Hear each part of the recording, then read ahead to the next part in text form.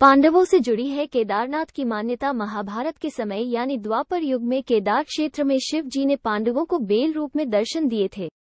वर्तमान मंदिर का निर्माण आदि गुरु शंकराचार्य ने आठवीं, नौवीं सदी में करवाया था। ये मंदिर उत्तराखंड के चार धामों में से एक है। मंदिर समुद्र तल से करीब तीन हज़ार पाँच सौ तिरासी मीटर की ऊंचाई पर है। केदारनाथ की असली कहानी क्या है? मान्यता है कि महाभारत के युद्ध में विजयी होने पर पांडव अपने भाइयों की हत्या से मुक्ति के लिए भगवान शिव का आशीर्वाद पाना चाहते थे। परंतु, भगवान उनसे कर्म से खुश नहीं थे, इसलिए वे केदारनाथ चले गए।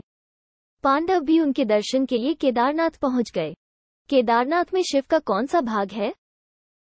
ऐसा कहा जाता है कि इनमें से प्रत्येक स्थल भगवान के एक अंश को समर्पित है। केदारनाथ, भगवान शिव का कुबर मदमहेश्वर उनकी नाभि, तुंगनाथ उनकी बुजाएँ, रुद्रनाथ, उनका चेहरा, कल्पेश्वर, उनकी जटाया केदारनाथ का शिवलिंग कैसे दिखता है?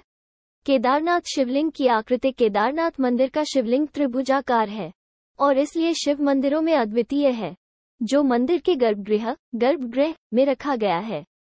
केदारनाथ मंदिर में भगवान शिव के वाहन नंदी के साथ पार्वती, भगवान कृष्ण, पाँच पांडवों और उनकी पत्नी द्रौपदी, नंदी, वीरभद्र और अन्य देवी देवताओं की मूर्तियाँ हैं।